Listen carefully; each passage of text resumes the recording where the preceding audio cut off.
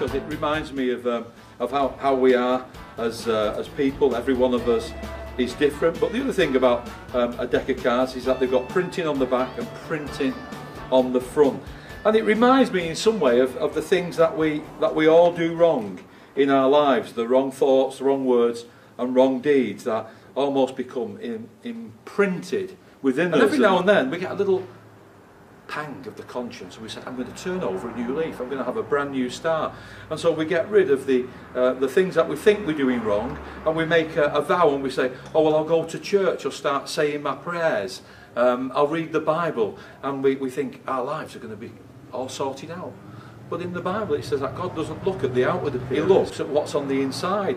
And when he looks on the inside he still sees all the stains that we've gone and done. And because of those stains he can't let us in to his heaven. So we're in a fix. But you know, about 40 years ago, I was aware that I would clean up the outside of my life, but on the inside, there was still a problem.